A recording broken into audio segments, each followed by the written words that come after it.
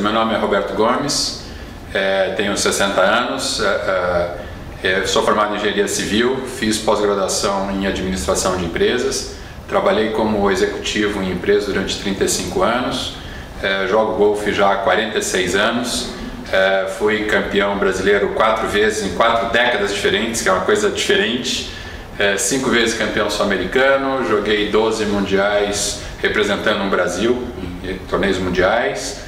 É, tenho uma empresa de organização de esportes, de, de, uma empresa de organização de torneios de golfe e resolvi que eu quero ser coach na área esportiva, é, devolver um pouco de tudo que eu aprendi ao longo dos 46 anos, tenho que devolver um pouco e também sou diretor técnico da Confederação Brasileira de Golfe.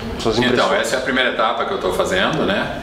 É, eu estou achando, achando fantástico. É, muitas coisas, maneiras diferentes de nós pensarmos, pensando um pouquinho fora da caixinha, mas que são todas muito inteligentes, muito sábias, todas elas.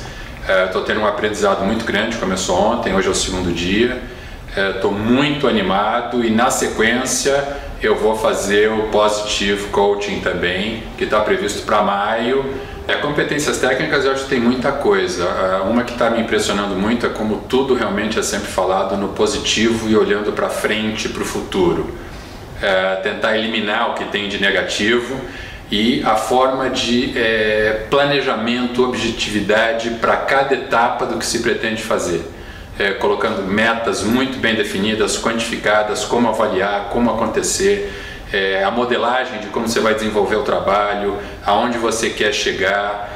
É, é, é uma visão realmente diferente de muitas coisas que a gente acaba aprendendo no dia a dia, na, nas universidades, mas eu acho que está sendo muito produtivo.